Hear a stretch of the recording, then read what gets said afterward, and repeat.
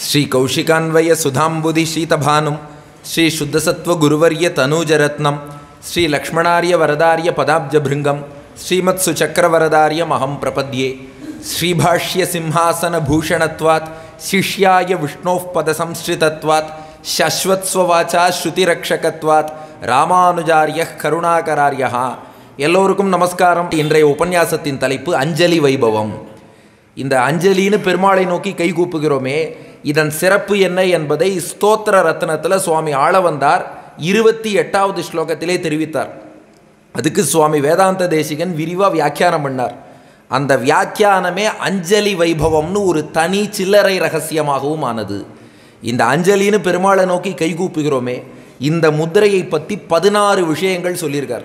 ஏன்னா நமக்கும் பதினாறு ஒரு வகையில் ஃபேவரேட் ஆகிடுது ஏன்னா நேத்திக்கு உபன்யாசத்தில் ஆறாவது முதாழ்வானும் வெங்கடேசனும்னு சொல்லி பதினாறு ஒற்றுமைகள் ரெண்டு பெருமாளுக்கும் பார்த்தோம் இன்றைக்கி அஞ்சலி முத்திரையின் பதினாறு பெருமைகளை இன்றைக்கு நாம் பார்க்க உள்ளோம் இந்த அஞ்சலி வைபவத்தை சொல்லக்கூடிய ஸ்லோகம் என்னென்னா ஸ்தோத்திர ரத்னத்தில் ஆளவந்தார் அருளிய ஸ்லோகம் இருபத்தி எட்டாவது ஸ்லோகம் त्वदङ्घ्रिमुद्दिश्य कदापि केनचित् यथा तथा वापि सकृत्कृतोञ्जलिः ததைவ முஷ்ணாதி அசுபானி அசேஷதா சுபானி புஷ்ணாதி நஜாத்து ஹீயத்தே என்பதுதான் ஸ்லோகம். இதற்கு பொருள் என்னென்னா முதல்ல பொருள் என்னங்கிறத சுருக்கமாக சொல்லிடுறேன். அதுக்கப்புறம் இதுக்கு வியாக்கியானத்தில் சுவாமி வேதாந்த தேசிகன் காட்டிய பதினாறு விஷயங்கள் இந்த அஞ்சலி பற்றி அந்த பதினாறை சொன்னால் சிக்ஸ்டீன் சொன்னால் சிக்ஸ்டி மினிட்ஸ் ஆகிடும் உபன்யாசத்தையும் பூர்த்தி பண்ணிடலாம். அதனால் இந்த ஸ்லோகத்தின் கருத்து என்னென்னா பகவானே இதோ கல்யாணபுரத்திலே அலர்மேல் மங்கையோடு திருக்கல்யாண கோலத்தில் எழுந்துருளி இருக்கும் ஸ்ரீனிவாசனே துவதங்கிரி முத்திசிய உன் திருவடியை குறித்து கதாபி எப்போதாக வேண்டுமானாலும் இருக்கலாம். எந்த நேரத்திலாக இருந்தாலும் கேனச்சித் யாரோ ஒருவன் இன்னார் தான் இல்லை யாரோ ஒரு நபர் யதா ததா வாப்பி அவருக்கு எப்படி செய்ய தெரியுமோ? கிரமப்படின்லாம் இல்லை. அவருக்கு என்ன தெரியுமோ தெரிஞ்சதை வச்சுண்டு சக்ருத்து ஒரே ஒரு முறை சக்ருத் கிருத்தோஞ்சலிகி இந்த அஞ்சலி முத்திரை என்று ஒரே ஒரு முறை. அப்போது பிராட்டியோடு கூடிய பெருமாளுடைய திருவடிகளை உத்தேசித்து ஏதோ ஒரு காலத்தில் யாரோ ஒரு நபர் ஏதோ ஒரு வகையில் ஒரே ஒரு முறை இந்த அஞ்சலி முத்திரை என்பதை காட்டினால் போதும். அவருக்கு என்ன ஆகிறது என்றால் ததைவ அந்த நேரத்திலேயே முஷ்ணாதி அசுபானி அசேஷதா அவருக்குள்ள அசுபங்கள் எல்லாம் அந்த நொடியே விலகுகிறது. அவருடைய பாப்பங்களாக இருக்கலாம் அவர் பகவானை அடைவதற்கு தடையாக இருக்கும் விரோதிகளாக இருக்கலாம் அசுபங்களாக இருக்கலாம் அலக்ஷ்மியாக இருக்கலாம் இது எல்லாம் எதெல்லாம் தேவையில்லையோ அதெல்லாம் அந்த நிமிஷமே அசேஷதா மொத்தமாக விலகிடுறதாம். இது விலகிறதோடு மட்டுமில்லை சுபானி புஷ்ணாதி அவருக்கு எல்லா சுபங்கள் எல்லா மங்களங்கள் பெருமாளை அனுபவிக்கிற பரமமங்கலம் வரை. அப்போது இந்த உலகியல் செல்வத்திலேருந்து ஆரம்பித்து நீங்காத செல்வமான பகவத் அனுபவம் வரை எல்லாமே புஷ்ணாதி பல படிகளிலே எல்லாம் புஷ்டியாக நிறைகிறது. நஜாத்து ஹீயத்தே இது அவருக்கு மட்டும் பல நிலையாம் அவருடைய சந்ததிகள் வழி வழியாக வரவா ஏழு தலைமுறை வரைக்கும் ஒரே ஒரு முறை அஞ்சலி முத்திரை காமிச்சாரே. இந்த ஒரு முத்திரை என்பது அவரை ஏழு தலைமுறை வரைக்கும் காக்கும். அவருக்கு பின்னாடி வரக்கூடியவர்கள் கூட அவர்களும் நன்றாக சிறந்து விளங்குவார்கள். இது போல அசுபங்கள் நீங்க பெற்று சுபங்கள் நிறைந்தவராக இருப்பார்கள். ஸ்ரீபாஷ்யத்தில் இதை ராமானுஜரும் தெரிவிக்கிறார். அந்தராதிகரணத்தில் அதாவது தம் பகவானே கதி என்று இருந்துவிட்டால் அஸ்ய சிஷ்ய பிரசிஷ்யாதயா புத்திர பௌத்ராதயா அப்படி பிரம்மவித ஏவ பவந்தி. ஒருத்தன் பகவானுக்கு அடியவராக இருக்கிறார் என்றால் அவரை மட்டும் பகவான் ரட்சிக்க மாட்டான். இந்த எந்தை தந்தை தந்தை தந்தை தம் மூத்தப்பன் ஏழ்படிகால் தொடங்கிங்கிற மாதிரி முன்னே உள்ள தலைமுறை பின்னே உள்ள தலைமுறை நம்மாழ்வாரும் பாடியிருக்கிறார் கேசவன் தமர் கீழ்மேல் யமர் மாசதிரிதி பெற்று நம்முடைய வாழ்வு வாய்க்கின்றவா? என்று நம்மாழ்வாருடைய திருவாய்மொழி பாசுரம். அப்போ அப்படி சந்ததிகள் வரை இந்த அஞ்சலி என்பது காத்து கொடுக்கும். இது ஆளவந்தார் சாய்ச்ச விஷயம். இப்போ இதை வைத்து கொண்டு இந்த அஞ்சலி பற்றி பதினாறு பாயிண்ட் சொல்கிறார் சுவாமி வேதாந்த தேசிகர் அதில் முதல் பாயிண்ட் என்னென்னா இந்த அஞ்சலி என்பது யாரை குறித்து நாம் செய்ய வேண்டும்? இந்த அஞ்சலி முதிரையை யாரை குறித்து நாம் காட்டலாம்னா பகவானை குறித்து தான் செய்ய வேண்டுமே ஒழிய சாதாரண மனிதர்களோ அல்லது இந்திரன் சந்திரன் போன்ற தேவர்களோ இவர்களை குறித்தெல்லாம் அஞ்சலி முதிரை காட்டக்கூடாது. பகவானை குறித்து தான். இதைத்தான் ஆள வந்தார். துவத் அங்கிரிம் உத்திஷ்யன் இருக்கார் துவத்துனா உன்னுடைய. அங்கிரினா திருவடி. உத்திசியனா அதை உத்தேசித்து. அப்போ பகவானுடைய திருவடியை உத்தேசித்து. அப்போ அடியார்களை பார்த்து செய்கிறோமேனா அடியார்களுக்குள்ள பகவான் விளங்குகிறான். அதனால் அடியார்களை பார்த்து நாம் கைகூப்புகிறோம் ஏன்னா அந்த அடியார்களுக்கு பகவானுக்கு என்ன மரியாதை கொடுப்போமோ அதை அடியார்களுக்கும் கொடுக்க வேண்டும். தொழுமின் நீர் கொடுமின் கொண்மின் என்று நின்னொடும் ஒக்க வழிபட அருளினாய் போல் மதில் திருவரங்கத்தானே என்று திருமாலையில் தொண்டரடி பொடியாழ்வார் பாசுறோம். பெருமாளுக்கு ஈக்குவலான மரியாதை அவன் அடியார்களுக்கு கொடுக்கணும். அடியார்களை பார்த்து கை கூப்புறோம். மற்றபடி பகவானுக்குத்தான் உரியது இந்த அஞ்சலி என்பது பிராட்டியோடு கூடிய பெருமாள். ஏன்னா பெருமாள்னு சொன்னாலே பிராட்டியோடு கூடிய பெருமாள் என்று தான் நாம் புரிந்து கொள்ள வேண்டும். ஏன்னா அதுக்கு தேசிகன் வியாக்கியானம் பண்ணுறார் சர்வலோக சரண்யமாய் அத்தனை பேருக்கும் அடைக்கலம் தரவல்லவனாக இருக்கக்கூடிய சர்வ போக்யாதிசாயிகளான நமக்கு ரொம்ப இனிமையாக இருக்கக்கூடியவன் பகவான் அந்த பெருமாளுடைய திருவடியை நோக்கி செய்யணுமா? பெருமாள் திருமேனியில் எல்லா அவயவங்களும் இருந்தாலும் கூட மற்ற அவயவங்களை நோக்கி அஞ்சலி இல்லையாம் அவன் திருவடி நோக்கி துவத் அங்கிரிம் உத்தேசியன் இருக்கார் ஆள வந்தார். அதனால தேசிகனும் சாதிக்கிறார் தேவரீருடைய சரணாரவிந்தங்களை உபாயமாகவும் பிராப்பியமாகவும் அபிசந்தி பண்ணி அப்போ சரணாரவிந்தம். சரணாகதிங்கிறது வேற அது சரணம்னு அவனை பற்றுகிறோம். சரணம்னு சொன்னால் அது திருவடி. அப்போ அவனுடைய சரணங்களை குறித்து அந்த திருவடியை குறித்து பண்ணணும். ஏன்னா பகவானை தவிர வேறு யாராலும் நம்மை பிறவி பிணியிலேருந்து காப்பாற்ற முடியாது. பிறவி பிணிக்கு மருத்துவனாய் நின்ற மாமணிவண்ணன் பெருமாள் தான் டாக்டர். பிறவி பிணிக்கு வைத்தியம் பண்ணணும்னா மற்றதுக்கு அல்லோபதி ஹோமியோபதி நேச்சுரோபதி எல்லாம் இருக்குது பிறவி பிணிக்கு வெங்கடாச்சலபதியால் தான் வைத்தியம் பண்ண முடியும். ஸ்ரீஎஃப்பத்தியால் தான் முடியுமே ஒழிய அங்கே அல்லோபதி ஹோமியோபதி நேச்சுரோபதி எந்த பதியும் வராது. அப்போ அந்த பதிக்கு மட்டும்தான் இந்த நமஸ்காரம் என்பது ஸ்ரீஎஃப் பகவான்.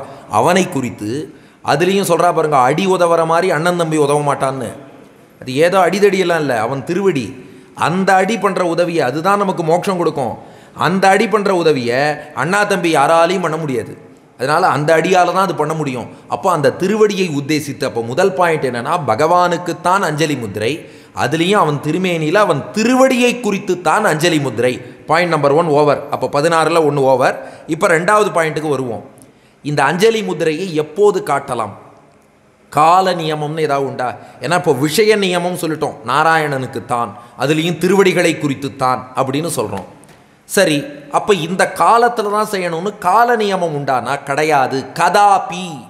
அளவந்தார் ஸ்லோகம் கதாபி எப்போ வேணாலும் பண்ணலாம். ஏன்னா மற்ற வழிபாடுகளுக்கோ மற்ற வைதிக காரியங்களுக்கோ நிறைய கால ரெஸ்ட்ரிக்ஷன்ஸ் உண்டு. தேசிகன் வியாக்கியானம் பண்ணுறார் யுகபேதம் அயனபேதம் மாசபேதம் பக்ஷபேதம் திதி வார நட்சத்திரபேதம் ராத்திரி திவசாதி பேதம் ராசிபேதம் முகூர்த்தபேதம் ராசி பேதம் முகூர்த்த பேதம் எதுவுமே கிடையாதுங்கிறார். ஏன்னா இப்போ யுகபேதம் நான் இன்னைக்கு தபஸ் பண்ணுறேன்னு உட்காந்தா உடனே என்ன சொல்லுவா? இப்போ தபஸுங்கிறதெல்லாம் கிருத்த யுகம் இப்போ கலியுகம். கலியுகத்தில் நாம சங்கீர்த்தனம் தான் கலவு சங்கீர்த்திய கேசவம். இந்த தபஸுங்கிறது கிருத்த யுகத்துக்கு உள்ளது. நீ என்னடா கலியுகத்தில் வந்து தபஸ் பண்ணுறேங்கிறியே இது சாத்தியமான்னு நம்மளை கேட்பா அப்போ யுகத் நியமம்னு சிலது சொல்கிறோம் அடுத்து அயன பேதம் ஒரு பூணல் போடணும் உபநயனம்னா உத்தராயணத்தில் போடு தட்சிணாயணத்தில் பண்ணாதேங்கிறா. அப்போ அயன பேதம் உத்தராயணம் தட்சிணாயணம்னு சில காலத்தில் சிலதை பண்ணாதேங்கிறா. அடுத்து மாச பேதம் கிரகப்பிரவேசம் பண்ணணும். மாதம் என்னன்னா ஆடி மாதம்னா அப்போ கிரகப்பிரவேசம் பண்ண முடியாது. அடுத்து பக்ஷ பேதம் சில காரியங்கள் வளர்பிறையில் தான் பண்ணணும். சிலது தேய்பிறைனா அதை அவாய்ட் பண்ணுங்கன்னு சொல்லிடுவா. அதுலேயும் அந்த பட்சத்துலேயும் திதி பேதம் இப்போ வளர்பிறையாக தான் இருக்குது பிரதமையில் பண்ணட்டுமான்னா பிரதமேல பண்ண முடியாது. இப்போ ஒருத்தர் கல்வியே படிக்க போகிறாருன்னு வச்சுக்கோங்களேன். ஒரு சிஷ்யன் ஆச்சாரியன்ட்ட போனான் வேதம் கற்றுக்கணும்னு நாளைக்கே வாடான்ட்டார். சொல்லிட்டு பஞ்சாங்கத்தை பார்த்தார் நாளைக்கு பிரதம வராதேன்ட்டாராம். ஏன்னா பிரதமேல பாடம் படிக்கக்கூடாது அதனால தான் வைதிகாலுக்கெல்லாம் பிரதமை தான் சண்டே மாதிரி. இப்போ ஸ்கூல்லாம் சண்டே லீவ் விட்டுடுறா இல்லையா? அது போல் வேத அத்தியனம்லாம் நாங்களாம் சாம வேதம் அத்தியனம் பண்ணும்போது எங்கள் வாத்தியார் பிரதமைனா வந்துடாதேன்றுவார் ஏன் பிரதமையில் படித்தா என்னென்னா அதை சொல்லின் செல்வனான ஆஞ்சநேயர் சொல்லியிருக்கார். சீத்தை இலங்கையில் அசோகவனத்தில் இழைச்சி போயிருந்தா இல்லையா? அதுக்கு ஹனுமான் உதாரணம் சொல்கிறார் பிரதிபத் பாட்டசீலசிய வித்யேவ தனுதாம் கதா. பிரதமேல பாடம் படித்தவனுடைய ஞானம் எப்படி இழைச்சி போயிருக்குமோ அது போல் சீத்தை இழைச்சி போயிருந்தான்னு. அதனால் பிரதமேல பாடம் படித்தா கல்வி ஞானம்ங்கிறது இழைச்சி போயிடுமா? அப்போது கல்வி கற்க வேண்டும்னு வந்தால் பிரதமேல படிக்கக்கூடாது. அப்போது திதி பேதம்னு ஒன்று இருக்குது அப்புறம் வாரம் நட்சத்திரம் இப்போது க்ஷவரம் பண்ணிக்கணும்னா கூட செவ்வாய் சனி இதெல்லாம் பண்ண முடியாது. இது போல் இன்னும் நிறைய ரெஸ்ட்ரிக்ஷன் இருக்குது ஒரு உதாரணத்துக்கு ரெண்டு நாள் சொல்கிறேன் அப்போது வார பேதம் அந்த நாட்களுக்காக பேதம் வருகிறது. நட்சத்திர பேதம் இதுவா சிரவண நட்சத்திரத்தன்னைக்கு பண்ணுங்கிறா. அப்போ அதுக்கு ஒரு பேதம். யாம பேதம் இந்த பகல் இரவு பேதம்ங்கிறது ஒரு புறம். இரவுலேயே அது எத்தனாவது யாமத்தில் பண்ணணும்னு ஒரு பேதம். சிலது பகலில் சிலது ராத்திரியிலங்கிறோம் ராசி பேதம் முகூர்த்த பேதம் இத்தனை இருக்குது இப்போ இந்த அஞ்சலி முத்திரைன்னு பெருமாளை போய் சேவிக்கிறோம். கை கூப்புகிறோம். இதற்கு ஏதாவது உண்டானா தேசிகன் சொல்கிறார் ருச்சி பிறந்த போதே காலம். நமக்கு எப்போ ஆசையாக இருக்கோ பெருமாளை நோக்கி எப்போ கை கூப்பணும்னு தோன்றுகிறதோ அதுதான் நல்ல நேரம் கை கூப்புங்கன்ட்டார். அதனால் பெருமாளை நோக்கி கை கூப்புவதற்கோ ஒரு ஆச்சாரியனை போய் கை கூப்புவதற்கோ நாள் கிழமை பார்க்கவே கூடாது. எந்த நேரம் நமக்கு மனசில் சத்துவகுணம் நிறைந்து பகவானை சேவிக்கணும்னு தோன்றதா கை கூப்பிடலாம். அப்போ ரெண்டாவது பாயிண்ட் கால நியமம் என்பது கிடையாது. பகவானுக்கும் கிடையாது அதுபோல் ஆச்சாரியன் விஷயத்திலையும் கிடையாது. அதனால தான் கொஞ்சம் கவனித்து பாருங்கள். ராமானுஜர் வரதராஜ பெருமாளுடைய ஆக்ஞைப்படி பெரிய நம்பிகள்கிட்ட சமாஸ்ரயணம் பண்ணிக்கணும். காஞ்சிபுரத்திலேருந்து ஸ்ரீரங்கம் நோக்கி புறப்பட்டு வரார். ஆளவந்தாருடைய ஆணைப்படி பெரிய நம்பிகள் ராமானுஜருக்கு பஞ்சசம்ஸ்காரம் சமாசிரயணம் பண்ணி வைக்கணும்னு ஸ்ரீரங்கத்திலேருந்து புறப்பட்டார் காஞ்சிபுரம் நோக்கி வரார். ஆச்சாரியனும் வரார் சிஷ்யனும் வரார். ரெண்டு பேரும் எங்கே சந்தித்தார்னா மதுராந்தகத்திலே சந்தித்தார்கள். சந்தித்த இடத்துல ராமானுஜர் விழுந்து சேவிச்சார். சுவாமி இங்கேயே பஞ்சசம்ஸ்காரம் பண்ணிடுங்கன்னார் அப்போ பெரிய நம்பிகள் சொன்னார் ஒன்று உங்கள் ஊர் காஞ்சிபுரத்துக்கு நான் போயிடணும். நான் காஞ்சிபுரம் நோக்கி வந்தேன். இல்லை என்ன தேடி வந்தேன்னா நீங்கள் ஸ்ரீரங்கத்துக்கு வந்துடணும். காஞ்சிக்கும் போகாமல் ஸ்ரீரங்கத்துக்கும் போகாமல் நடுவில் மதுராந்தகத்திலே பண்ண சொன்னால் எப்படின்னார்? சுவாமி ஆச்சாரியன் இப்போ சேவை சேவிக்கிற பாக்கியம் கிடச்சுடுத்து. ஏற்கனவே ஆள வந்தார். அவர் அடியனை கட்டாட்சித்தார். சேவிக்க முடியாமல் போயிடுத்து. இப்போ கிடைச்ச வாய்ப்பை பின்னாடின்னு தள்ளி போட விரும்பலை. இங்கேயே பஞ்சசம்ஸ்காரம் செய்யுங்கள்னு சொன்னார். அதனால தான் மதுராந்தகத்திலேயே ராமானுஜருக்கு பஞ்சசம்ஸ்காரம் செய்து வைத்தார்னு பார்க்குறோம் அப்போ பகவானையோ ஆச்சாரியனையோ கை கூப்புறோம் சேவிக்கிறோன்னா அதுக்கு நாள் கிழமை இடம்லாம் பார்க்கக்கூடாது. எங்கே எப்போ தோன்றதோ அப்படியே பண்ணிடலாம். அப்போ இடம் காலம் இதெல்லாம் எதுவுமே கிடையாதுங்கிறது ரெண்டாவது பாயிண்ட் இப்போ மூணாவது பாயிண்ட் அதிகாரி பேதம் என்பது உண்டா? இன்னார் தான் கை கூப்பலாம். இன்னார் கூப்பக்கூடாது அவர் ஏதாவது இந்த குலத்தில் பிறந்திருக்கணும் அல்லது ஆண் பெண் அந்த மாதிரி ஏதாவது இருக்கணும் இல்லை இவ்வளோ படிச்சிருக்கணும் அண்டர் கிராஜுவேட் ப்ரோஸ் போஸ்ட் கிராஜுவேட் அந்த மாதிரி ஏதாவது படிச்சிருக்கணும் இல்லை சொசைட்டியில் இந்த ஸ்டேட்டஸில் இருக்கணும் இந்த மொழி பேசுபவராக இருக்கணும் அந்த மாதிரி ஏதாவது உண்டா? இல்லை சம்ஸ்கிருதம் தெரிஞ்சிருக்கணும் இல்லை தமிழ் இலக்கணம் ஒன்றுமே கிடையாது. கேனச்சித்துங்கிறார் ஆள வந்தார். அங்கே தேசிகனுடைய வியாக்கியானம் வர்ணபேதம் கிடையாது ஆசிரம பேதம் கிடையாது குணபேதம் கிடையாதுன்ட்டார். இந்த பகவானை நோக்கி கை கூப்புவதற்கு இந்த குலத்தில் பிறந்திருக்கணுங்கிற தேவை கிடையாது. அல்லது ஆசிரமம் ஒருத்தர் பிரம்மச்சாரி அல்லது கிரகஸ்தன் வானப்பிரஸ்தன் சந்நியாசி இதெல்லாம் கிடையவே கிடையாது. அது போல் குணபேதம் கூட கிடையாது. நல்ல சத்துவகுணம் நிறைந்தவர் அவர்னா கை கூப்பலாம். இவர் ரஜோகுணம் தமோகுணம் இல்லையே. ரஜோகுணம் தமோகுணம் உள்ளவர் கை கூப்பிட்டா அவருக்கு அந்த குணங்கள் நீங்கி சத்துவகுணம் வந்துடும் அப்போ யார் வேண்டுமானாலும் சர்வருக்கும் இங்கே தேசிகனுடைய வியாக்கியானம் பாருங்கள் சர்வருக்கும் சாஸ்திரியமுமாய் சுகரமுமாய் இருக்கும்னர். இது சாஸ்திரப்படியும் சரி செய்வதற்கும் எளியது.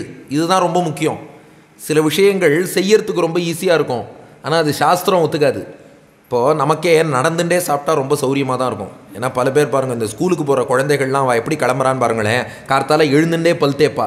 பல் தேய்ச்சுட்டே குளிப்பா குளிச்சுட்டே ட்ரெஸ் மாற்றிப்பா ட்ரெஸ் மாற்றிண்டே சாப்பிடுவா சாப்பிட்டுட்டே ஸ்கூல் பஸ்ஸில் போய் ஏறுவா ஸ்கூல் பஸ்ஸில் உட்காந்து ஹோம்ஒர்க் எழுதிட்டே ஸ்கூலில் போய் இறங்கிடுவா. இந்த மாதிரி பண்ணால் நமக்கு வசதி அது சுகரம். ஓகேப்பா கார்த்தால ஏன்னா நம்ம எழுந்துக்கிறதே ஏழு மணிக்கு தான். அதனால் ஏழு மணிக்கு எழுந்துக்கிறவா ஏழரை மணி ஸ்கூலுக்கு போகணுன்னா அவளுக்கு அந்த மாதிரி ஆயிடுறது. பிரம்ம முகூர்த்தத்தில் எழுந்தால் ப்ராப்ளம் இல்லை. ஆனால் இது சுக்கரம் செய்வதற்கு ஈஸியாக இருக்குன்னு ஏதோ ஒன்று பண்ணிடுறோம். இது சாஸ்திர சம்மதமான்னு பார்க்கணும். சாஸ்திரம் உட்காந்து இலையில தான் சாப்பிடணும். பெருமாளுக்கு கண்டருள பண்ணப்பட்ட சாத்விகமான ஆகாரம் தான் சாப்பிடணும். இந்த நியமங்கள்லாம் வருது. சில விஷயங்கள் சாஸ்திரோக்தமாக இருக்குது நம்ம செய்யறதுக்கு கஷ்டமாக இருக்குது இப்போ சாஸ்திரப்படி கரெக்டாக சந்தியாவந்தனம் பண்ணு அப்படின்னு சொன்னால் மூணு வேளை சந்தியாவந்தனம் எல்லாரும் ஈஸியாக பண்ணிடக்கூடியது தான். ஆனால் அதுவே கஷ்டமாக இருக்குது சாருங்கிறா நிறைய பேர். அப்போது சாஸ்திரம் சொல்லக்கூடிய விஷயம் கஷ்டமாக இருக்கும்பா. ஆனால் இந்த அஞ்சலிக்கு என்ன பெருமைனா இது சாஸ்திரமும் சொன்ன விஷயம். செய்வதற்கும் ரொம்ப எளிது. இது ஒன்றும் கஷ்டமில்லையே. கைகூப்பி பகவானை நோக்கி பகவானே நீயே தஞ்சம்னு சொல்வதற்கு ஒன்றும் நாம் ஸ்ட்ரெயினும் பண்ணிக்க வேண்டாம். இது சாஸ்திரமும் சொன்ன விஷயம்.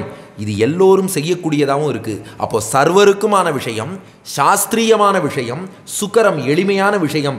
இந்த பெருமை இந்த அஞ்சலியை தவிர வேறு எதுக்குமே கிடையாது. இது மூணாவது பாயிண்ட் அப்போ எல்லாரும் அஞ்சலி முதிரையை பகவானிடம் காட்டலாம். அப்போது மூணு பாயிண்ட் நாம் பார்த்துட்டோம் இது வரைக்கும் ஒன்று என்னன்னா பெருமாள் திருவடிகளை நோக்கி அஞ்சலி முத்திரையை நாம் காட்ட வேண்டும். ரெண்டு இது எந்த காலத்தில் வேண்டுமானாலும் அஞ்சலி என்பதை செய்யலாம். மூன்று இதை யார் வேண்டுமானாலும் செய்யலாம். இப்போ நான்காவது இதை எப்படி பண்ணணும்? அங்கே தான் பிரச்சனை வருது. எல்லாம் ஓகே சார் யார் வேணால் பண்ணலாம்னு சொல்லிடுறோம். அதுக்குன்னு ஏதாவது ஃபார்முலா ப்ரொசீஜர்லாம் இருக்கும் இல்லையா? நாம் பாட்டுக்கு மனசை எங்கேயோ வச்சுட்டு ஏதோ மனம் போனபடி அப்படி இப்படின்னு எப்படியோ பண்ணிட்டோன்னா அது பலன் தருமோ தராதோன்னு சந்தேகம் வரும் இல்லையா? ஆளவந்தார் சாதிக்கிறார். யதா ததா அப்பி யதானா எப்படி? ததானா அப்படி. எப்படி பண்ணுறியோ அப்படின்ட்டார். எப்படி பண்ணினாலும் அதற்கு பலன் உண்டு. அதனால் இதுக்கு தேசிகனுடைய வியாக்கியானம் புரிதலோடு செய்தாலும் உண்டு புரியாமையே செஞ்சாலும் உண்டு. இந்த அஞ்சலி முதிரை இருக்கே இவன் பகவான் நமக்கு அவன்தான் தஞ்சம் அவன்தான் நம்மை ரட்சிப்பான். அவ்வளவு புரிதலோடு கை கூப்பினாலும் நிச்சயமாக அனுகிரகம் பண்ணுவார் குறையில்லை. அவ்வளோலாம் தெரியாமல் ஏதோ கோவில் பக்கமாக போகிறோம்ப்பா ஏதோ ஒரு கை கூப்பி வச்சுட்டு போவோன்ட்டு போனாலும் பலன் உண்டு.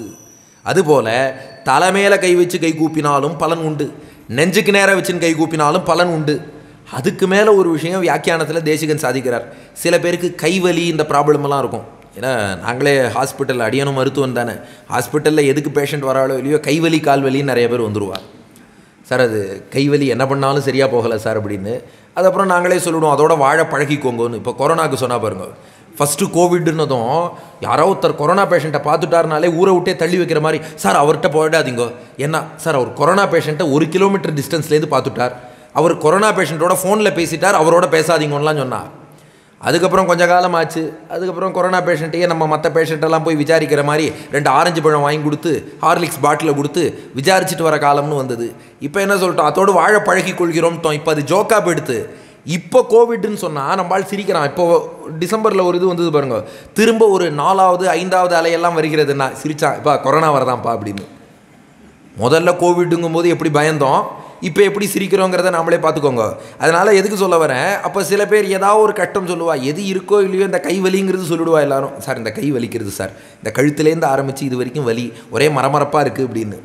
அப்போ அந்த மாதிரி இருக்குது கை கூப்ப முடியலையா? தேசிகன் சொல்கிறார் வாக்காலோ மனசாலோ பண்ணாலும் பலிக்கும்ட்டார். வாக்கால பகவானே நீதான் எனக்கு தஞ்சம் என்று நான் உன்னை பார்த்து கை கூப்புகிறேன். கையே கூப்ப வேண்டாம். கை கூப்புகிறேன்னு சொன்னாலே போகிறோம் அதையே பகவான் ஏற்றுக்கொள்வான். அதுவும் முடியலையா? மனசால பாவனை பண்ணுங்க. கை கூப்புறதா? நம்ம கையை கூப்பலை. கை இப்படியே தான் இருக்குது மனசார கை கூப்பினதா பாவனை பண்ணாலும் அனுகிரகம் பண்ணுவாராம். இது ஏதோ அர்த்தவாதம் மாதிரி இல்லை. அர்த்தவாதம்னா கொஞ்சம் உயர்வு நவிர்ச்சி. கொஞ்சம் தூக்கி சொல்கிற மாதிரி இல்லையா? அப்படின்னா இது ஸ்ரீ பராசர பட்டர் ஸ்ரீ குணரத்ன கோஷத்தில் ஒரு ஸ்லோகம் பண்ணியிருக்கார். அதன் பொருளை பார்த்தா இந்த விஷயம் புரியும். என்ன ஸ்லோகம்னா கேள்விப்பட்டிருப்பேள் உங்களுக்கு தெரியாதா? எவ்வளோ உபன்யாசம் கேட்டிருக்கேள் ஐஸ்வர்யம் அக்ஷரகதிம் பரமம் பதம் வா கஸ்மைச்சித் அஞ்சலிபரம் வகதே விதீரிய அஸ்மை ந கிஞ்சித் உச்சிதம் கிருதமித்யதாம்ப துவம் லஜசே கதைய கோயம் உதாரபாவகான்னர் ஸ்ரீரங்கத்தில் ஒரு விஷயம் கவனித்து பாருங்கோ. எல்லாரும் ஸ்ரீரங்கம் நிறைய தடவை சேவிச்சிருப்பேள். ஒரு பேட்டர்ன் கவனித்து பாருங்கோ. ஸ்ரீரங்கத்தில் வடக்கு உத்தர வீதியில் திருமாளிகைகள் வீடுகள்லாம் இருக்கும். தெற்கு உத்தர வீதியில் ஷாப்ஸ் கடைகள் மார்க்கெட்டு எல்லாம் தெற்கு உத்தர வீதியில் இருக்கும். ஒருத்தர் வடக்கு உத்தர வீதியிலே வாழ்கிறார். தெற்கு உத்தர வீதிக்கு போய் ஷாப்பிங் பண்ணணும். அதுக்கு என்ன பண்ணலாம்? கோவிலை சுற்றி தான் போகணும். கோவிலை அப்படி சுற்றி கிழக்கு உத்தர வீதிக்கு வந்து அதுக்கப்புறம் தெற்கு உத்தர வீதிக்கு வந்து ஷாப்பிங் பண்ணணும். அது ரொம்ப சுத்தல் ரூட்டாக இருக்கே ஷார்ட்கட்டில் போகலாமான்னு பார்த்தாராம். என்ன பண்ணலான்னு பார்த்தார்? ஸ்ரீரங்கம் பெரிய கோவிலில் வடக்கு வாசல் வழியாக உள்ளே நுழைவோம். தெற்கு வாசல் வழியாக வெளில வந்துட்டால் வடக்கு தெற்கு உத்தர வீதி திரும்ப எல்லா பர்ச்சேஸும் பண்ணிட்டு தெற்கு வாசல் வழியாக உள்ளே நுழைவோம். வடக்கு வாசல் வழியாக வெளில வந்துட்டா வடக்கு உத்தர வீதி இது சிம்பிள் அப்போ உள்ளே போய் பெருமாளை சேவிக்கணும். பெரிய பெருமாளையோ பெரிய பிராட்டியோ சேவிக்கணும்னு எண்ணம் இல்லை. இது ஷார்ட்கட் பைபாஸ் மாதிரி கோவிலுக்குள்ளே நுழைஞ்சுட்டார். போனார் தெற்கு உத்தர வீதிக்கு வந்தார் கையில் பையோட போகிறார் போய் என்னென்ன காய்கறி வாங்கணுமோ ஷாப்பிங் எல்லாம் பண்ணிட்டார். பை அப்படி ஜம்முன்னு கையில் மாட்டின்றார் மறுபடியும் தெற்கு உத்தர வீதி வழியாக வந்தார் தெற்கு வாசல் வழியாக உள்ளே நுழைஞ்சுட்டார். இப்போ வடக்கு வாசலுக்கு வந்துட்டார். வெளியில் வந்தால் வடக்கு வீதி வீடு வரப்போகிறது கொஞ்சம் லெஃப்ட்டில் திரும்பினார் பார்த்தா ஸ்ரீரங்க நாச்சியார் சன்னதி இருந்தது. சரி ஏதோ தாயார் இருக்கா? கை கூப்பி வைப்போமே. தாயார் மேலே பக்தி ஈடுபாடு அதெல்லாம் இல்லை. போனால் போகிறது ஏதோ இவருடைய கை கூப்புறதுக்காக தாயார் ஏதோ இயங்கின்னு இருக்க மாதிரி போனால் போகிறது கை கூப்பி வைப்போமே. அந்த மாதிரி நினைக்கிறவாள்லாம் இருக்கா? இப்போ திவ்யதேச யாத்திரைன்னு சொல்லி டிக்கடிக்கிறதுக்காக போவா அனுபவிக்கிறதுக்கு போகிறவாங்கிறவா ஒரு சிலர். திவ்யதேசத்தை புக்கில் டிக்கடிக்கிறதுக்கு போகிறவான்னு ஒரு சிலர் அவா போவா திவ்யதேசத்துக்கு போனால் இல்லை சார் இன்றைக்கி இந்த சன்னதி திறந்து இருக்கல ஏதோ ஒரு காரணம் சன்னதி சாத்தியிருக்குன்னா பரவாயில்ல என்னை சேவிக்க பெருமாளுக்கு கொடுத்து வைக்கல அடுத்த கோவிலுக்கு போய்டுறேன்ட்டு அவள் போயிடுவா. அது பெருமாளை சேவிக்க நமக்கு கொடுத்து வைக்கலன்னு நினைக்க மாட்டா. அப்படிப்பட்ட மகானுபாவர்களும் இருக்கா? எல்லாம் மனிதர்கள் பலவிதம். இவர் பார்த்தார் சரி கை கூப்பி வைப்போமே. அதனால் இப்படியே அந்த பைய கையில் மாட்டிகிட்டே தாயாரை நோக்கி கை கூப்பிட்டு அவர் போயிட்டார். உள்ளேந்து ஸ்ரீரங்க நாச்சியார் பார்த்தாலும் ஐயோ என் குழந்தை என்னை நோக்கி கை கூப்பியிருக்கானே. என்ன வேணும்னு வேற வாயை திறந்து கேட்காம போயிட்டானே. இவனுக்கு என்ன கொடுக்கலாம்? ஐஸ்வர்யம். இந்த செல்வத்தெல்லாம் வச்சுக்கோடா குழந்தைன்னு கொடுத்துட்டாலும் கொடுத்துட்டு தாயார் யோசித்தாலும் அவன் இதுக்கு மேலே வேறு ஏதாவது பெருசாக எதிர்பார்க்கறானோ என்னவோ தெரியாது. நாம் வெறும் செல்வத்தை தான் கொடுத்தோம். போதாது போதாது. அக்ஷரகதிம். இந்த ஜீவாத்மா தன்னைத்தானே அனுபவித்தல். கைவல்ய நிலை கொடுக்குறேன் வச்சுக்கோன்னு கொடுத்துட்டாலும். அப்புறமும் தாயார் யோசிச்சா இல்லை போறாது இன்னும் பெருசாக கொடுக்கணும். அவன் அஞ்சலி முத்திரைன்னா காமிச்சிருக்கான். அது எவ்வளோ பெரிய முத்திரை அதுக்கு இதெல்லாம் கொடுத்தா போதுமா? பெருமாள்கிட்ட சொன்னால் இவனுக்கு மோட்சம் கொடுத்துடலாமாண்டா. ஓகேன்ட்டார் பெருமாள். பார்த்தா அந்த மகானுபாவனுக்கு மோட்சமே கொடுத்தாச்சு. பரமம் பதம் வா ஐஸ்வர்யம் அக்ஷரகதிம் பரமம் பதம் வா இந்த வச்சுக்கோன்னு கொடுத்தாச்சு.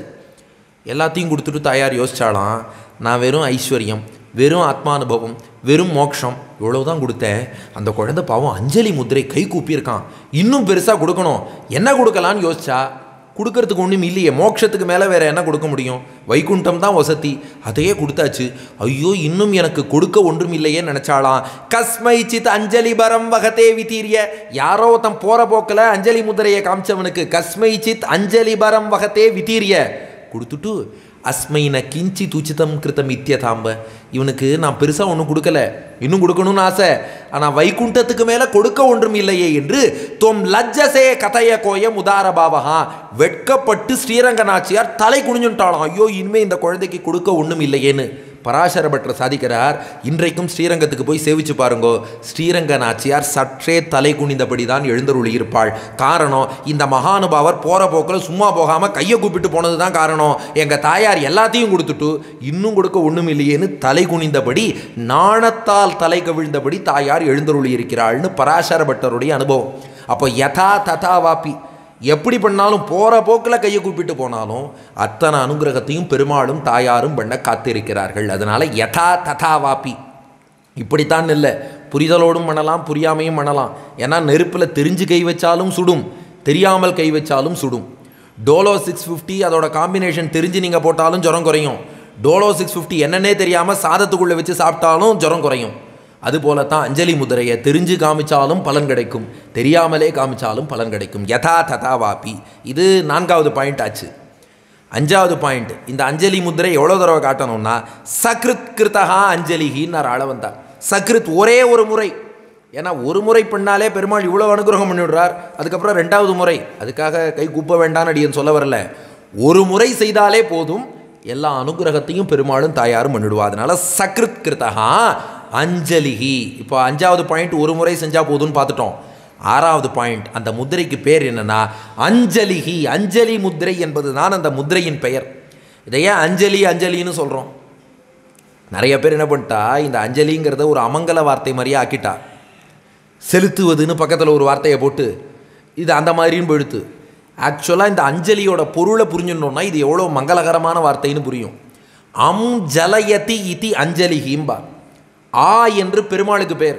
அகர முதல எழுத்தெல்லாம் ஆதி பகவன் முதற்றே உலகு. ஆ என்பது எழுத்துக்களுக்கெல்லாம் ஆதியாக இருக்கு. அதுபோல இந்த ஜகத்துக்கே ஆதியாக இருக்கும் பகவானுக்கு ஆன்னு பேர். அகாரார்த்தோ விஷ்ணுகு ஆ என்றால் நாராயணன். அம் அந்த ஆவாகிய பெருமாளை ஜலயதி ஜலம் போல எது உருகச் செய்கிறதோ அதற்கு அஞ்சலி முத்திரைன்னு பேர். அப்போ நாம் பகவான் முன்னாடி இப்படி கை கூப்பிட்டோம்னா நீர்ப்பண்டம் போல பெருமாள் உருகிடுவாராம். ஏன்னா பெருமாளை பார்த்து நாம உருகிற காலம்லாம் எடுத்து. ஆழ்வார் பாடினார் ஆறாவமுதே அடியேன் உடலம் நின்பால் அன்பாயே நீராய் அலைந்து கரைய உருக்குகின்ற நெடுமாலே சீரார் சென்னல் கவரி வீசும் செழுநீர் திருக்குடந்தை ஏறார் கோலம் திகழக் கிடந்தாய் கண்டேன் எம்மானேன்னு அப்போ நாம் உருகிறோமோ இல்லையோ? இந்த முதிரையை நாம காமிச்சுட்டா பகவான் உருகி விடுகிறான். அதனால தான் அம் ஜலயதி இதி அஞ்சலிகி. பகவானையே உருகச் செய்கிறது. அப்போ இது எவ்வளோ வசதியானதுன்னா தேசிகன் சில உதாரணங்கள் காட்டுகிறார் வியாக்கியானத்தில். உபலேபன பெருமாளுடைய கோவிலை கூட்டி பெருக்கி மெழுகி சுத்தம் பண்ணுவது. அது சிறந்த கைங்கரியம். அது அவசியம் செய்ய வேண்டிதான் அதுக்காக அது மற்றது செய்ய வேண்டான்னு அர்த்தம் இல்லை. அதை விட அஞ்சலி முத்திரைங்கிறது பெருமாளுக்கு அதிகமான உகப்பை தருகிறது. அடுத்து மாலாகரண. பெருமாளுக்கு புஷ்பம் மாலையா தொடுத்து சமர்ப்பிப்பது. வசத்தியான கைங்கரியம். அதைவிட அஞ்சலி முத்திரைக்கு பகவான் மிகவும் உகக்கிறான் அடுத்து தீபாரோபண பெருமாளுக்கு தீபம் ஏற்றுதல் திருவிளக்கு எரித்தல் பிரதட்சிண பிரதட்சணம் செய்தல் பிரணாம விழுந்து சேவித்தல் ஸ்துதி ஸ்தோத்திரம் பண்ணுதல் சங்கீர்த்தன அவனை இசையாக நாம சங்கீர்த்தனமா அல்லது கானங்களாக இசையாக அவன் புகழை பாடுதல். நம்ம சந்தானம் சுவாமியின் திருக்குமாரர் ஸ்ரீவத்சன் பாடுறாரு அது போல பாடுதல். அதுக்கப்புறம் ஜபாதிகளில் காட்டிலும் ஜபம் பெருமாளுடைய மந்திரம் அதை நாம் ஜபம் செய்தல் இது அனைத்தை காட்டிலும் இது என்னன்னா அதிக தமம்னர் அதிக தமம்னா தி கிரேட்டஸ்ட்னு அர்த்தம். சான்ஸ்கிரிட்டில் அதிகனா ரொம்ப கிரேட்டுன்னு அர்த்தம். அதிக தரனா கிரேட்டர் அதிக Tamannaah greatest the degrees of comparison சொல்கிறோம் இல்லையா? குட் பெட்டர் பெஸ்ட் அதிக அதிக தர அதிக தம. இது அதிக தமம் என்று இந்த அஞ்சலியை குறிப்பிட்டு இருக்கிறார் தேசிகன். அதனால தான் அஞ்சலிகி பரமாமுத்ராம்பா. இந்த முதிரைகள்லேயே பரமமான முத்திரை மிக ஒசத்தியான முதிரைனா இந்த அஞ்சலி முதிரை. அப்போ இது ஒன்றுமே இல்லை ரொம்ப சிம்பிள் தான். ரெண்டு கைகளையும் கூப்புறோம். தனித்து இருக்கக்கூடிய ரெண்டு கைகளையும் சேர்த்து இப்படி வச்சுக்கிறோம். இப்படி சேர்த்து வைத்துக்கொண்டு கை கூப்பி பகவான் முன்னே இந்த அஞ்சலி என்ற முதிரையை நாம் காட்டுகிறோம். இது எதை விட வசத்தினா பெருக்கி. அக்கா மற்ற கைங்கரியும் அவசியம் செய்யணும். ஏன்னா இது என்ன பண்ணிடுறா? இன்றைக்கி இது யூடியூப் எல்லா இடத்துலையும் போகிறது இல்லையா? யாரோ ஒருத்தர் பார்த்துட்டு இதோ பாடுறா. இவன் ஒருத்தன் உட்காந்து உபன்யாசம் பண்ணி ஊர் விட்டு ஊர் வந்து உபன்யாசம் பண்ணவன் கோவிலை இனிமேல் பெருக்க வேண்டாம். மாலையெல்லாம் சமர்ப்பிக்க வேண்டாம். கை கூப்புறது தான் வசத்தின்னு சொல்லிட்டு போயிட்டான்னு. அப்படி அர்த்தம் இல்லை. அதெல்லாமும் பண்ணணும். அதோட இதையும் பண்ணணும். இது அதை விட வசதி. அவ்வளோதான் விஷயமே ஒழிய. ஏன்னா இதெல்லாம் வந்து நகி நிந்தா நியாயம்னு நாம் புரிஞ்சுக்கணும். அஃப்கோர்ஸ் அஞ்சலி முத்திரைக்கு ஏற்றமே உண்டு. இருந்தாலும் சில இடங்களில் இப்போது மனு பகவானே ஒரு இடத்துல ரிக்வேதத்தின் பெருமையை சொல்லணும். அதனால் என்ன சொல்கிறார் சாமவேதம்ங்கிறது வந்து ஸ்வரம் அவ்வளோ தூரம் நன்னா தெரியாமல் அல்லது குரல் சரியாக இல்லாமல் சாமவேதம் சொன்னால் அது பித்திருக்களுக்கு சொல்கிற மாதிரி இருக்கும். ரிக்வேதம் எஜுர்வேதம்லாம் எவ்வளோ வசதி தெரியுமான்னார். ஏன்னா அந்த வேறு குரல் இருக்குது பாருங்க. இந்த சாமவேதம் வந்து கொஞ்சம் நன்னா குரல் வளம் இருக்கவா? சுரத்தோடு சொன்னால் நல்லாயிருக்கும் இருக்கும். அப்படி இல்லாமல் சொன்னான்னு வச்சுக்கோங்களேன் இது பித்திருக்களுக்கு வேறு ஏதோ சொல்கிற மாதிரி இருக்கும் அப்படின்ட்டார். உடனே நானும் சாமவேதி தான் நாங்கள்லாம் இனிமேல் மனுவை எதிர்த்து நாங்கள் போராட்டம் பண்ண போகிறோம் எங்கள் சாமவேதத்தை பற்றி மனு குறைச்சி சொல்லிட்டார். இப்படின்னு சண்டையில் இறங்க முடியும்? அவர் அங்கே மற்ற வேதம் எவ்வளோ வசதின்னு சொல்ல வந்திருக்கார். அவருக்கு சாமவேதத்தை பழித்து சொல்லணும்னு நோக்கம் இல்லை. அதை கேர்ஃபுல்லாக புரிஞ்சுக்கணும். ஏன்னா உலகத்தில் இன்றைக்கி டாலரன்ஸ் லெவலுங்கிறது குறைஞ்சுட்டே வருது. ஏதாவது ஒரு சின்ன விஷயம் யாராவது ஒன்று சொன்னாலும் பாருங்க யாருமே ரெஸ்பாண்ட் பண்ண மாட்டா ரியாக்ட் மட்டும்தான் பண்ணுவாள் ரெஸ்பாண்ட் பண்ணால் பிரச்சனையே வராது. எதாக இருந்தாலும் நமக்கு யாரோ ஒருத்தர் கேட்குறாரா ரெஸ்பாண்ட் பண்ணிட்டு போயிடலாம். ரெஸ்பான்ஸே கிடையாது. ரியாக்ட் தான். நீ அப்படியா கேட்டேன்னு ஆரம்பிச்சான்னா அது அவ்வளோதான் முடிஞ்சு போச்சு. அதனால தான் கேர்ஃபுல்லாக சொல்கிறோம் எல்லாமே பண்ணணும். ஆனால் கோவில் கூட்டி மெழுகி சுத்தம் பண்ணுவதை விட மாலை சமர்ப்பிப்பதை விட தீபம் ஏற்றுவதை விட ஸ்துதி பாடுவதை விட சங்கீர்த்தனம் பண்ணுவதை விட ஜபம் பண்ணுவதை விட இந்த மற்ற எல்லா கைங்கரியங்களை காட்டிலும் அஞ்சலி முத்திரை என்பது ஏற்றம் பெற்றது. அப்போ ஆறு பாயிண்ட் பதினாறில் ஆறு பார்த்துட்டோம். அப்போ இந்த அஞ்சலி முதிரைங்கிறது பகவானை குறித்தது. எப்போ வேணால் பண்ணலாம் எங்கே வேணால் பண்ணலாம். யார் வேண்டுமானாலும் பண்ணலாம் எப்படி வேண்டுமானாலும் பண்ணலாம்.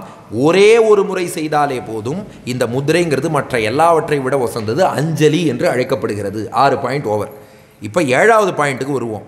இது எப்போ பலன் கொடுக்கும் அப்படின்னா ததைவ. அப்போதே கொடுத்துரும். ஏன்னா மற்றதற்கெல்லாம் சில கால வரையறை சொல்லுவாள் இப்போ வேதத்திலேயே ஒரு ஹோமம் பண்ணுங்கன்னு சொல்லுவாள் ஹோமம் பண்ணா சரி பண்ணி முடிச்சுட்டேன். பண்ணி முடிச்சதும் தட்சிணை கொடுக்குற மாதிரி உடனே பலன் கிடைக்குமானா இல்லை சார் கொஞ்சம் வெயிட் பண்ணுங்கோ. இந்த ஹோமம் பண்ணி ரெண்டு மாதம் கழிச்சு தான் பலன்பா.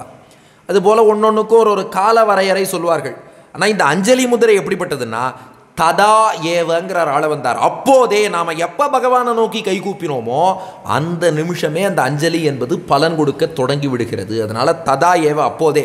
அதனால தான் அஞ்சலிகி பரமாமுத்ரா க்ஷிப்ரம் தேவ பிரசாதினின்னா க்ஷிப்ரம்னா விரைவாக இமீடியட்டாக வேகமாகன்னு அர்த்தம்.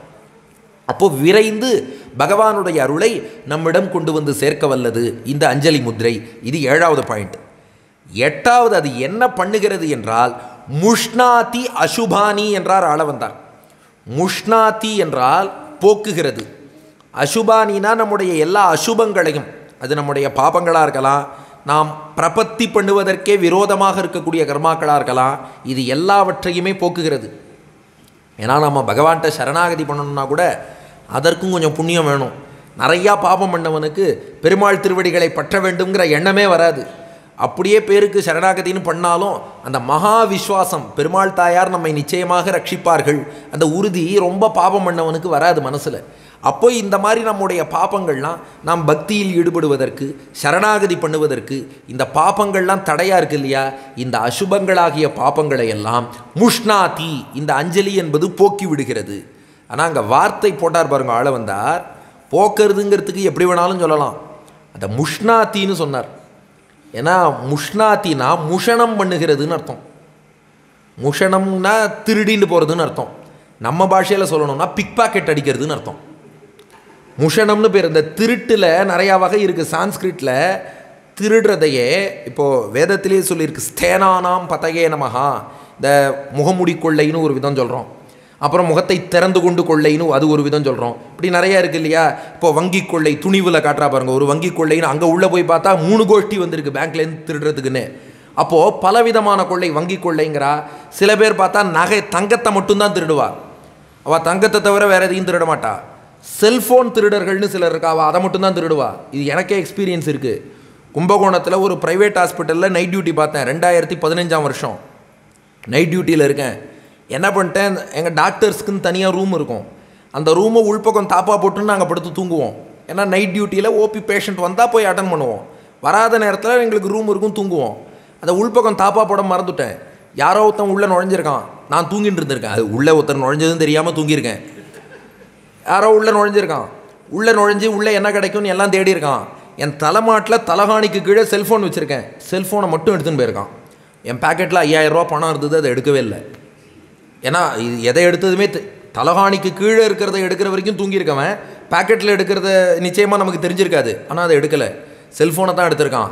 அதே ரூமில் இன்னும் நிறைய இன்ஸ்ட்ருமெண்ட்லாம் இருக்குது ஸ்டெத்தாஸ்கோப் இருக்குது பிபி மிஷின் இருக்குது அதெல்லாம் எடுக்கலை. செல்ஃபோனை மட்டும்தான் எடுத்திருக்கான். அது பின்னாடி சிசிடிவியில் பார்த்து அது யார் என்னன்னு கண்டுபிடிச்சாச்சு. அவனை கூப்பிட்டு விசாரிச்சா அப்போ நான் கேட்டேன் ஏன்ப்பா இதெல்லாம் விட்டுட்டு எடுத்தியேன்னா நான் செல்ஃபோன் திருடணும்? அப்போ அதை மட்டும் தான் எடுப்போம். அதில் அவள் ஸ்பெஷலிஸ்ட் அவன் சொன்னால் டாக்டரில் நீங்கள் சொல்கிறீங்க இல்லையா? நீ வந்து டயபெட்டிஸ்க்கு ஸ்பெஷலிஸ்ட்டுங்கிறார் அப்புறம் இவர் வலது கைக்கு ஸ்பெஷலிஸ்ட் இவர் இடது கைக்கு ஸ்பெஷலிஸ்ட்டுங்கிறா அப்போ திருடனில் ஸ்பெஷலிஸ்ட் இல்லையான்னு அவன் சொல்லிட்டு போயிட்டான். அது போட்டோம். அதனால் எதுக்கு சொல்ல வந்தேன்? இந்த திருடர்களில் பல ரகம். இதில் முஷணம் பண்ணுறவாங்கிறவா யாருன்னா பிக் பாக்கெட் அதாவது பறி கொடுத்தவருக்கு தெரியாமலேயே அதை திருடின்னு போயிடுவாளாம். பிக் பாக்கெட்டுங்கிறவா நமக்கு தெரியவே தெரியாது. பஸ்ஸில் ஏறி உட்கா பஸ்ஸில் ஏறி நம்ம உட்காந்துருப்போம் அவன் அடிச்சுட்டு போயிருப்பான். கண்டக்டர் வந்து டிக்கெட்டும்பார் அப்போ தான் பைக்குள்ளே கை விடும்போது தான் தெரியும் ஒன்றும் இல்லைன்னு. அப்போ நமக்கே தெரியாமல் நம் பொருளை கொண்டு செல்வதற்கு முஷணம்னு பேர். அப்போ இது முஷ்ணாத்தினா என்ன அர்த்தம்னா நாம் கான்ஷியஸாக பாப்பத்தை போக்குன்னு பெருமாள்கிட்ட பிரார்த்திக்கலை. அஞ்சலி முத்திரையை காட்டினவாறே முஷ்ணாத்தி அசுபானி நம்மை அறியாமல் பாக்கெட்டில் இருக்க பணம் போன மாதிரி உள்ளத்தில் இருக்கும் அழுக்கு அதுவும் கிட்டத்தட்ட பாக்கெட்டில் தானே இருக்குது உள்ளத்துக்குள் இருக்கும் அழுக்கெல்லாம் நமக்கே தெரியாமல் போய்விடுகிறது. அதான் ஒரு க்ஷேத்திரம் ஸ்ரீமுஷ்ணம்னு சொல்கிறோம் இல்லையா? அதுக்கு இதனால தான் அந்த பேர் வந்தது. அந்த ஸ்ரீமுஷ்ணம்ங்கிற க்ஷேத்திரத்தில் போய் நாம் உட்காந்தோம்னா நமக்கே தெரியாமல் நம்ம பாப்பங்களை அந்த ஊர் பிக் பாக்கெட் அடிச்சுன்னு முஷணம் பண்ணின்னு போயிடுமா?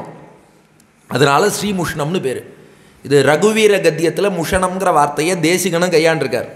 அவந்திய மகிம முனிஜன பஜன முஷித ஹிருதய கலுஷ சபரி மோக்ஷ சாட்சி பூதான்னார் இந்த சபரிக்கு முஷித ஹிருதய கலுஷன்னார் இந்த சபரி நிறைய ரிஷிகளுக்கெல்லாம் கைங்கரியம் பண்ணா அந்த கைங்கரியம் என்ன பண்ணிடுத்துனா முஷித ஹிருதய கலுஷ அவளுடைய எல்லா பாபங்களையும் முஷணம் பண்ணின்னு போயிடுது மகான்களுக்கு நாம் கைங்கரியம் பண்ணுறோன்னா நமக்கே தெரியாமல் பாபங்கள் போயிடுமா? அப்போ அது கிட்டத்தட்ட பிக் பாக்கெட் மாதிரி தான் ஏன்னா அந்த பாபங்கள் நம்ம சொத்து தானே கஷ்டப்பட்டு சேமித்து வச்சுருக்கோம் அத்தனை பிறவிகளாக ஒரு நிமிஷத்தில் பிக் பாக்கெட் அடிச்சுடுறது. அதான் முஷ்ணாதி அசுபானி. அதனால் எல்லா பாபங்களையும் அசுபங்களையும் நாம் பிரபத்தியோ அல்லது பகவானை பணிவதோ இதற்கெல்லாம் என்னென்ன தடையாக இருக்கோ அந்த தடைகளையும் முஷணம் பண்ணிட்டு போகக்கூடியது இந்த அஞ்சலி. இது எட்டாவது பாயிண்ட் அடுத்து ஒன்பதாவது பாயிண்ட் என்னென்னா அசேஷதகான்னு ஒரு வார்த்தை போட்டார் ஆள வந்தார். அசேஷதகானா மிச்சம் இல்லாமல்னு அர்த்தம். சேஷம்னா மிச்சம். அசேஷதகானா மிச்சமே இல்லாமல் எல்லா பாபங்களையும் போக்கும். ஏன்னா இங்கே தேசிகன் வியாக்கியானம் பண்ணுறார் கிருச்ரஸ் சாந்திராயணாதி கர்மங்கள் சில அசுபங்களை கழிக்கும்.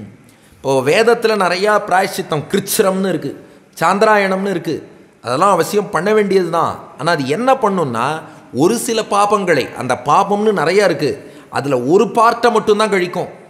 ஆனால் இந்த அஞ்சலி முதிரைங்கிறது என்ன பண்ணுறதுன்னா அசேஷத்தகம் மிச்சமே வைக்காது மொத்தமாக எல்லாவற்றையுமே கழித்து விடும் இதை பற்றி எங்கள் பிராச்சாரியனின் ஆச்சாரியன் வெங்கடசேஷாரிய மகாதேசிகன் வடுவூர் ராமனை பார்த்து ஒரு ஸ்லோகம் பண்ணியிருக்கார். எங்கள் பிராச்சாரியன் மந்தஸ்மித ராமாயணம் புன்னகை ராமாயணம் நீங்கள் கேள்விப்பட்டிருப்பேள் சங்கரா டிவியில் நம்ம உபன்யாசமும் பார்த்துருப்பேள். அவருடைய திருத்தகப்பனார் ஆச்சாரியன் வெங்கடசேஷாரிய மகாதேசிகன் அதாவது ஸ்ரீ உவே கருணாகராச்சார் சுவாமியினுடைய பிதாமகர். அவர் வடுவூர் ராமனை பார்த்து ஒரு ஸ்லோகம் பண்ணார். என்னென்னா இந்த அசேஷத்தக மொத்த பாப்பங்களையும் இந்த அஞ்சலி எப்படி போக்குங்கிறத பற்றி அந்த ஸ்லோகத்தை பேஸாக வச்சு தான் பின்னாடி புன்னகை ராமாயணமே எழுதினார் வில்லூர் சுவாமி. அது என்ன ஸ்லோகம்னா அந்யாதிருக்ஷமதீய திவ்ய சுஷமா சேவா கிரியாத்தியக்ஷணே பிரத்வஸ்தாகில கல்மஷே நதஜனே பாஷாத்திய சேவா ஃபலம் கிம் குறியாம் இது சிந்தையே சது மமா ஜானன் மனோ யாச்சதே நிசேஷாகஹதிம் முகுர் முகுரிதி ஸ்மேரோசி சீதாபதே.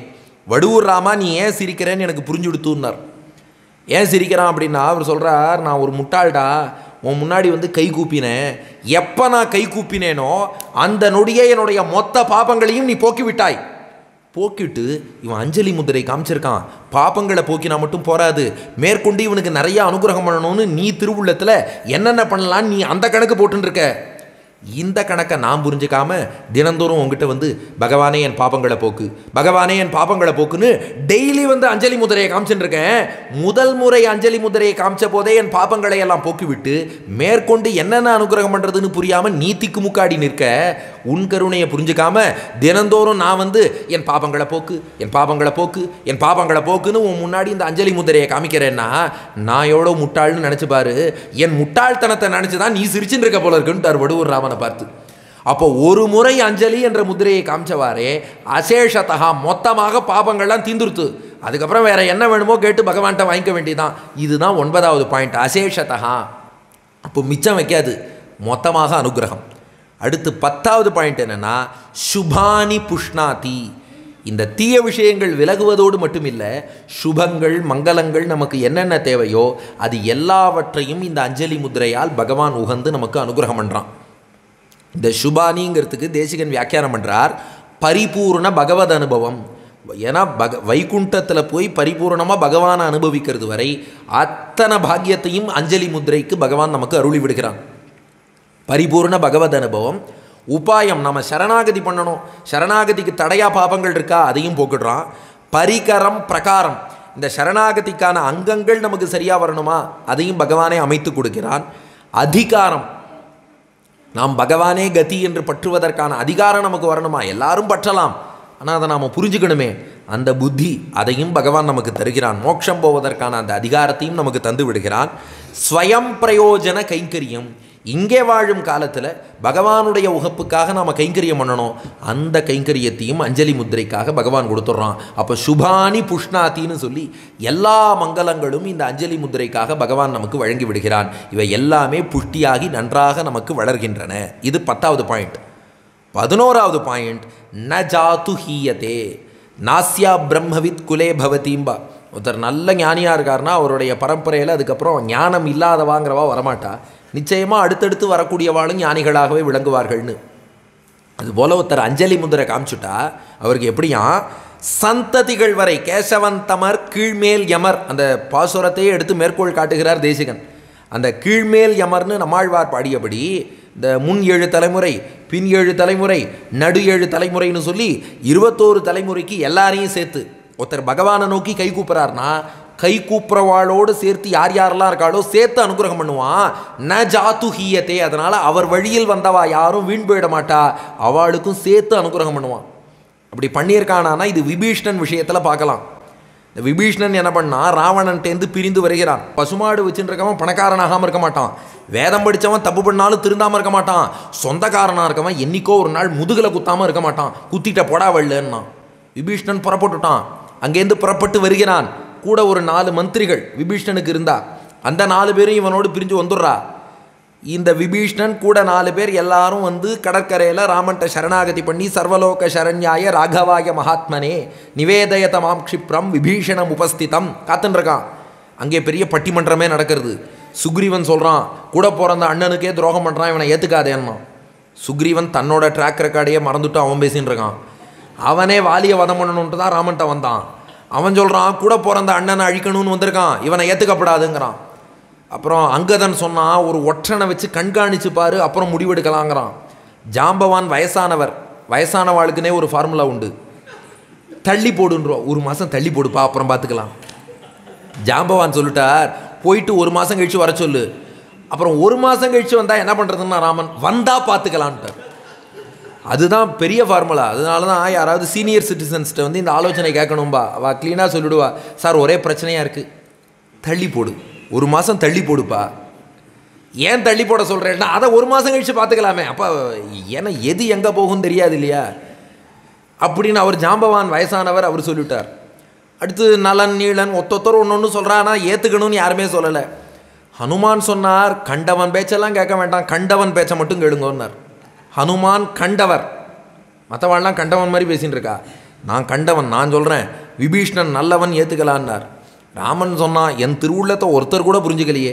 மற்றவானரால் கெட்டவன் ஏற்றுக்கப்படாதுங்கிறா இவன் நல்லவன் ஏற்றுக்கோங்கிறான் நல்லவனோ கெட்டவனோ வந்துட்டா ஏற்றுக்கணும்னா நான் ராமன். அதுதான் ராமனுடைய பாலிசி சரி ஏற்றுக்கோ அழிஷன் வரான்னு சொல்லியாச்சு. ஆனால் விபீஷ்ணன் கை கூப்பின்னா ஓகே இந்த கூட ஒரு நாலு பேர் வந்தா இல்லையா? அவள் கைகூப்பினாளானா அப்படி வால்மீகி ராமாயணத்தில் வாக்கியமே இல்லை. அவன் நாலு பேரும் வேடிக்கை பார்த்து நின்றுருந்தான் ஏதோ நம்ம தலைவர் விபீஷ்ணன் போகிறார் கூட மந்திரின்னு இவன் கூட வந்துட்டான். ஆனால் ராமன் என்ன பண்ணான் இந்த அஞ்சலியோடு கைகூப்பி நின்ற விபீஷ்ணனை ஏற்றுக்கொண்ட போது கூட இருந்த நாலு பேரையும் சேர்த்து ஏற்றுட்டானான் அவன் என்னப்பா புண்ணியம் பண்ணான்னா? அவன் விபீஷ்ணனோட நின்றுட்டான் இல்லையா? அதுவே போதும் ஏற்றுக்கொள்வான். அப்போ ஒருத்தர் அஞ்சலி முத்திரை காட்டுகிறார் என்றால் அவர் அஞ்சலி முத்திரை காட்டக்கூடியவரோடு சேர்ந்து யாரெல்லாம் நிற்கிறார்களோ அவள் அத்தனை பேரையும் சேர்த்து பகவான் அனுகிரகம் பண்ணிடுவான். அது அவள் சந்ததியாக இருக்கலாம் நண்பர்களாக இருக்கலாம் சிஷ்யர்களாக இருக்கலாம் முன்னோர்களாக இருக்கலாம் ந ஜாத்து ஹீயத்தே அவளுக்கும் சேர்த்து அனுகிரகம். இது வைதிகமாக ராமாயணத்துலேருந்து சொல்லிட்டேன். லௌகிகமாக ஒரு உதாரணம் மனசில் பதியறதுக்கு ஒன்று சொல்கிறேன் ஒரு குரூப் அகோபில யாத்திரை போனாலும் நவ நரசிம்மரையும் சேவிச்சிடணும்னு. எட்டு நரசிம்மர் சேவிச்சாச்சு பாவன நரசிம்மர் சேவிக்கணும். அதுக்கு அந்த யாத்திரிகள் குரூப் என்ன பண்ணால் ஒரு ஜீப்பில் ஏறி உட்காந்தா ஜீப்பில் டிராக்டரில் போனால் தான் பாவன நரசிம்மர் சேவிக்க முடியும். ஜீப்பில் ஏறி உட்காந்துட்டா ஜீப்பில் ஏறி உட்காந்து ஜீப் போயின்னு திடீர்னு டிரைவர் சொன்னாராம் ஜீப்பில் பிரேக் போயிடுத்துன்னார். அங்கே ஜீப்பில் போகிறதே ரொம்ப கஷ்டம். அதுவே பிரேக் இல்லாத ஜீப் மாதிரி தான் அங்கே ஓட்டின்னு போவா பாவன நரசிம்மருக்கு. அப்படி தான் நம்ம போயின்னு இருப்போம் ஆனால் இன்றைக்கி நம்ம ரோடெல்லாம் அதோட மோசமானதுனால அது கஷ்டமாக தெரியல. ஏன்னா இன்றைக்கி நம்ம பாருங்க எங்கே வச்சு அதுவும் சென்னையிலலாம் பார்த்தா எங்கே பார்த்தாலும் குழி குழியாக வெட்டி வச்சுருக்கா. ஒரு காலத்தில் உங்கள் வீட்டுக்கு எந்த வழியில் வரணும்னு கேட்டா இப்போ எந்த குழியில் வரணும்னு கேட்குறா உண்மையாக ஒருத்தர்கிட்ட கேட்டேன் எங்கே சார் இருக்கீங்கன்னா நங்கநல்லூரில் இருக்கேன் அதுவும் நங்கநல்லூர் தான் ரொம்ப பாவம். நங்கநல்லூரில் இருக்கேன்னாரு ஏன்னா அந்த மடிப்பாக்கம் டு நங்கநல்லூர் ரோடு பார்த்தேன்னு வச்சுக்கோங்க. அதில் ஆனால் ஒரு வாக்கியம் எழுதி வச்சுட்டா. Inconvenience for today for better டுமாரோன்னு இருக்கான். அது ஃபுல்லாகவே குழி தான் இருக்குது அவர்கிட்ட கேட்டேன் நங்கநல்லூருக்கு எப்படி சார் வரணும்னு? நேராக நீங்கள் மடிப்பாக்கம் வந்துருங்க. அங்கே ஒரு குழி இருக்கும். அந்த குழியில் விழுந்துருங்கன்னார் குழியில் விழுந்து அங்கேருந்து வடக்க ரெண்டு கிலோமீட்டர் வாங்கோ. ரைட்டில் ஒரு குழி பிரியும் லெஃப்ட்டில் ஒரு குழி பிரியும். லெஃப்ட்டில் உள்ள குழியில் ஒரு கிலோமீட்டர் வந்து குழியிலேருந்து மேலே எழுந்துக்கோங்க. லெஃப்ட் சைடில் எங்கள் வீடு இருக்கும்ட்டார் அந்த மாதிரியெல்லாம் இருக்குது இதுக்கு அது தேவலான்னு வச்சுக்கோங்க. அதனால் அங்கே போயின்னு இருக்கா? பிரேக் இல்லை. பிரேக் இல்லைன்னதையும் அவளுக்கு பயந்து போயிட்டா அந்த ஜீப் வேற அந்த காடுக்கு மத்தியில் மலையில் அப்படி மேலே கீழே இறங்கி தாறுமாறாக போயின்னு இருக்கு எல்லாரும் பார்த்தா செஞ்சுலக்ஷ்மி தாயாரே மலோலா பவன நரசிம்மா எல்லாம் சொல்லிட்டு இருக்கா அந்த ஜீப்பில் ஒரு பொண்ணு உட்காந்துருந்தாலும் கூலாக பார்த்தா பேப்பர் படிச்சுட்டு இருக்கா ஏதோ மேகசின் புக்கு வச்சு படிச்சுட்டு இருக்கா எந்த ஒரு கவலையுமே முகத்தில் இல்லை. கேட்டா ஏம்மா நாங்கள்லாம் உயிர் போகிற கவலையில் இருக்கோம். பேசாமல் இருங்கோன்ட்டு அவள் பாட்டுக்கு படிச்சுட்டு இருந்தா அந்த டிரைவர் அப்படி இப்படி சமாளித்து ஒரு மரத்தில் மோதி ஜீப்பை நிறுத்திட்டார். நிறுத்தினதும் டிரைவர்கிட்ட எப்படி நிறுத்தினேன்னு இவா கேட்கல ஏன்னா நமக்கு எப்போதுமே இன்னொருத்தர் சந்தோஷமாக இருந்தால் அதுதான் மனசில் ரொம்ப உறுத்தும். அவர் சந்தோஷமாக இருக்காரு. நம்ம வீட்டில் கரண்ட்டு கட்டானாலே நாம் என்ன பண்ணுவோம்? ஈபிக்கு ஃபோன் பண்ண மாட்டோம். பக்கத்து வீட்டுக்காரர்கிட்ட தான் கேட்போம். உன் வீட்டில் கரண்ட் இருக்கான்னு. அங்கே கரண்ட் இல்லைன்னா நமக்கு திருப்தி. அங்கே இருந்ததுன்னா தான் நம்ம ஈபிக்கே ஃபோன் பண்ணுவோம். அதனால இவா பார்த்தா இந்த பொண்ணை கூப்பிட்டு கேட்டா ஏம்மா நீ பாட்டுக்கு நாங்கள்லாம் வந்து மாலோலாங்கிறோம் பவன நரசிம்மாங்கிறோம் செஞ்சுலக்ஷ்மிங்கிறோம். நீ எதுக்குமே கவலைப்படலை. நீ பாட்டுக்கு படிச்சுன்னு உக்காண்டிருக்கியே. இங்கே என்ன நடந்ததுன்னு தெரியுமான்னா அவ சொன்னா அந்த டிரைவர் யாருன்னு உங்களுக்கு தெரியுமான்னா? யாருமான்னா? அந்த டிரைவர் எங்கள் அப்பா அப்படின்னா. அந்த டிரைவர் எங்கள் அப்பா அவர் பொண்ணு நான் ட்ராவல் பண்ணுறேன்னு தெரியும் இல்லையா? அப்போ எப்படியும் சேஃபாக கொண்டு போய் நிறுத்திடுவார்னு எனக்கு தெரியும்னா அப்போ அவள்லாம் சொன்னாலாம் இதை முன்னாடியே எங்கள்கிட்ட சொல்லியிருக்கலாமே.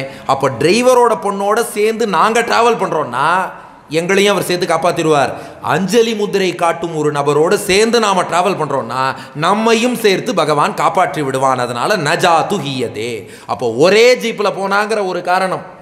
அதனால் பொண்ணோட சேர்த்து மற்றவாளையும் காப்பாற்றிட்டார் இல்லைன்னா அந்த டிரைவர் குதித்து அவர் மட்டும் தப்பிச்சிருப்பார். ஆனால் இங்கே காப்பாற்றிட்டார் அப்போ அஞ்சலி முந்திரை காட்டும் ஒரு அடியாரோடு நாம் சேர்ந்திருந்தா அவருக்காக நம்மையும் சேர்த்து பகவான் ரட்சிப்பான். இதுதான் முக்கியமான பதினோராவது பாயிண்ட் அடுத்து பன்னெண்டாவது பாயிண்ட் இதை பற்றி சில விசாரம் மட்டும் இனி அஞ்சு விஷயம் தேசிகன் சாதிக்கிறார். இது வரைக்கும் பதினோரு விஷயம் பார்த்தோமே. இதெல்லாம் அந்த ஸ்லோகத்துக்கான வியாக்கியானம். ஸ்தோத்திர ரத்னத்தில் இருபத்தி எட்டாவது ஸ்லோகம் தொதங்கிரி முத்திஷி அதுக்கு வியாக்கியானம். இனி சில விஷயங்கள் என்ன சொல்கிறாருன்னா இந்த அஞ்சலி முத்திரைங்கிறது எதற்கான சிம்பல் அது போன்ற சில விஷயங்கள் சாதிக்கிறார். அதில் இப்போ பன்னெண்டாவது point so one to eleven ஸ்லோகத்துக்கான வியாக்கியானம். டுவெல் டு சிக்ஸ்டீன் இந்த அஞ்சலி முத்திரையை பற்றிய சில மிசலேனியஸ் செய்திகள். அதில் பன்னெண்டாவது பாயிண்ட் என்னென்னா இந்த அஞ்சலி முத்திரையே பிரபத்திக்கு நிகரானதுங்கிறார். இதுலேயே சரணாகதி இருக்கான் எப்படி என்றால் ஸ்வரக்ஷணார்த்த ஸ்வவ்யா ஸ்வவியாபாரத்தில் கை முடங்குகிறபடியை காட்டுகிற முத்திரை இந்த அஞ்சலி முத்திரைங்கிறது எதுனா நாம் கை விரிச்சிட்டோன்னு அர்த்தம். பகவானே என்னை காப்பாற்றிக்கிற சக்தி எனக்கு இல்லை. அப்போ ரெண்டு கையும் தூக்கி காமிச்சுட்டேன். நீ தான் ரட்சிக்க வேண்டும்.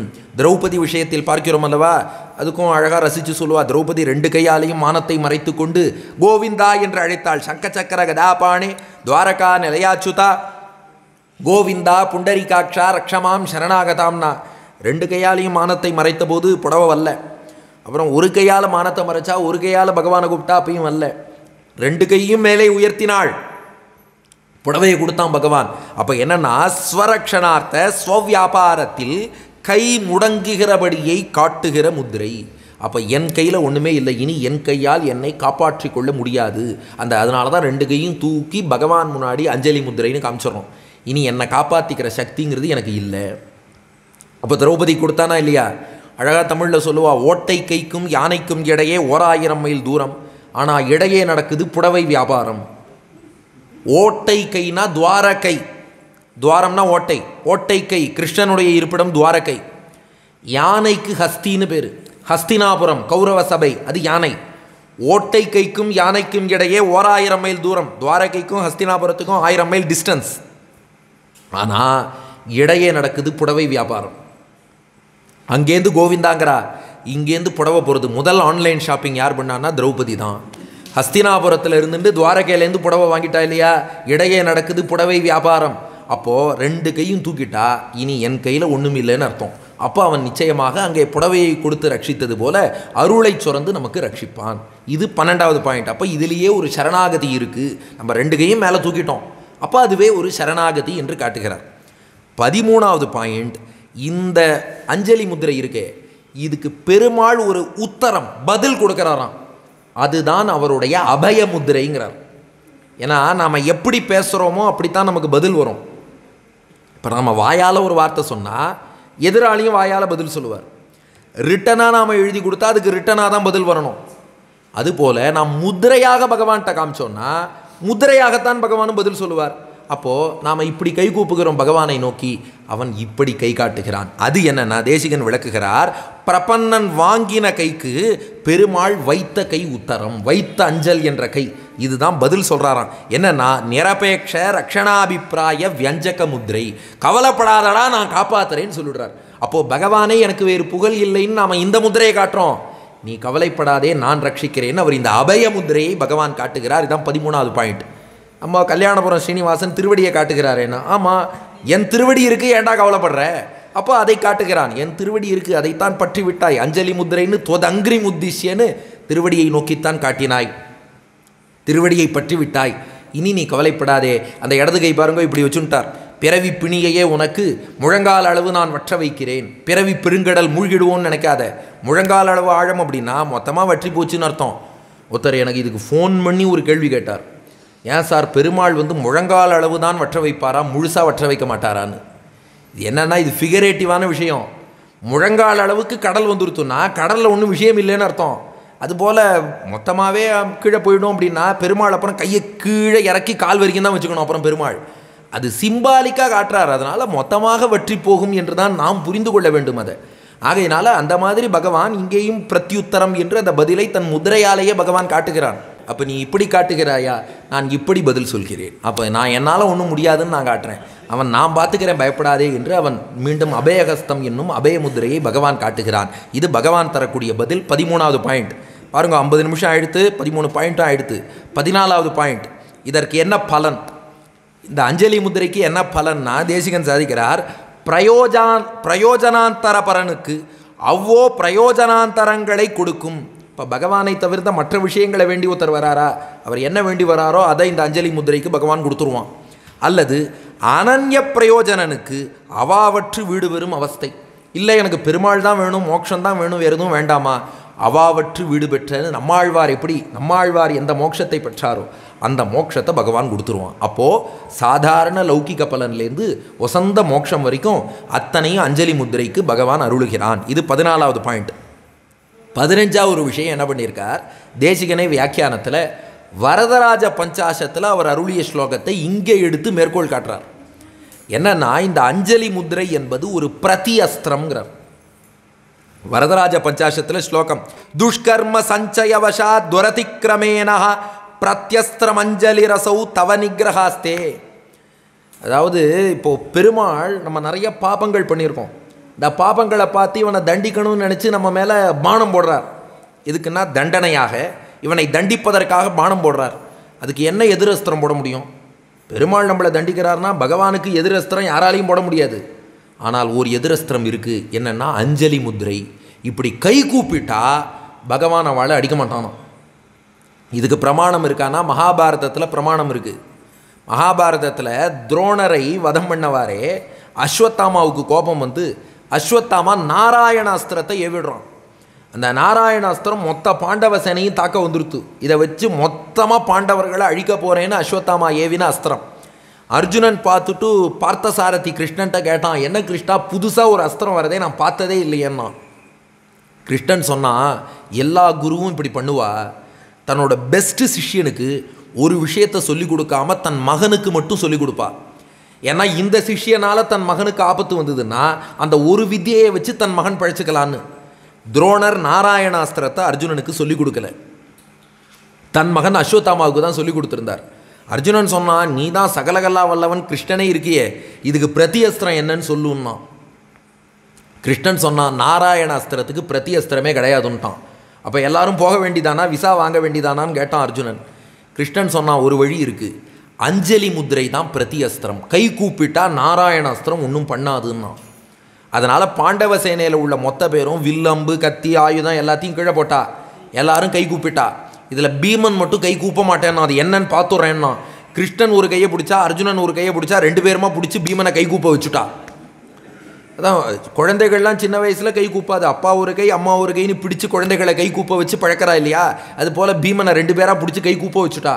எல்லாரும் கை கூப்பினதால் நாராயணாஸ்திரம் ஒன்றும் பண்ணாமல் போயிடுத்து அதை தான் தேசிகன் பிரத்யஸ்திரம் அஞ்சலி ரசௌ தவ நிகிரகாஸ்தே.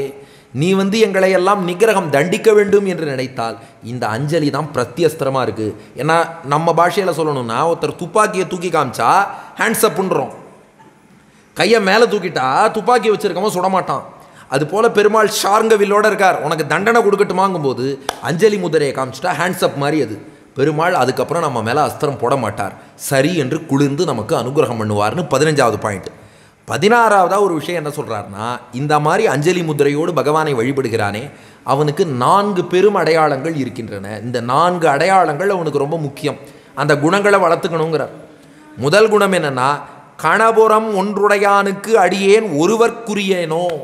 நான் பகவானுக்கு உரியவன்னா அவனை நோக்கி கை கூப்பிட்டேன்னா அவனுக்கே உரியவனாக இருக்கணும். அப்புறம் நான் இவருக்கும் உரியவர் அவருக்கும் உரியவர் அவருக்கும் உரியவர்னு இருக்கக்கூடாது. அவனுக்கு மட்டுமே உரியவன் என்று நாராயணனே நமக்கே பறை தருவான் என்று பகவானுக்கே ஆட்பட்டவராக இருக்கணும். இது முதல் குவாலிஃபிகேஷன் ரெண்டு உற்றாரும் மற்றொரு தெய்வம் தொழ இசையாது. அதுபோல் அவர் கூட இருக்கார் பாருங்க. அடியார்களோடையே கூடியிருக்கணுமா? மற்றபடி வேற ஏதோ அல்பமான விஷயங்களில் நாட்டம் கொண்டவர்கள் வேறு வேறு சிந்தனை கொண்டவர்கள் அவர்களோடு கூடிவிடாமல் அடியார்களோடு தான் கூடியிருக்க வேண்டும்.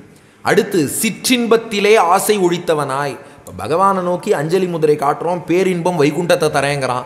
அதுக்கப்புறம் சிற்றின்பம் அல்பமான விஷயங்களில் நாமும் ஆசை வைக்கக்கூடாது. நான்காவது நிர்பரத்துவ அத்தியவசாயம். கை கூப்பிட்டோம். பகவான் இப்படி காமிச்சிட்டான் அஞ் அஞ்சேல்னு சொல்லிட்டான் நம்ம அஞ்சலின்னு சொன்னோம். அவன் அஞ்சேல்னு சொல்லிட்டான் நீ பயப்படாதேன்னு சொல்லிட்டான். அதுக்கப்புறம் நாமும் உறுதியோடு நிர்பரோ நிர்பயோஸ்மி. எனக்கு இனி பயமே கிடையாது. இதோ கல்யாணபுரத்தில் கல்யாண கோலத்தில் தாயாரோட பெருமாளை சேவிச்சிட்டோம். அலர்மேல் மங்கை தாயாரோட ஸ்ரீனிவாசனை சேவித்து கை கூப்பிட்டோம்னா இனி நிச்சயம் ரட்சிக்க போகிறான் அதில் நாம் உறுதியோடு இருக்க வேண்டும். அதில் நமக்கு சந்தேகமே வரக்கூடாது. இந்த நாலு எண்ணங்களோடு நாம் அத்தனை பேரும் கை கூப்புவோம்னு சொல்லி தேசிகன் பூர்த்தி பண்ணுகிறார் இந்த வியாக்கியானத்தை.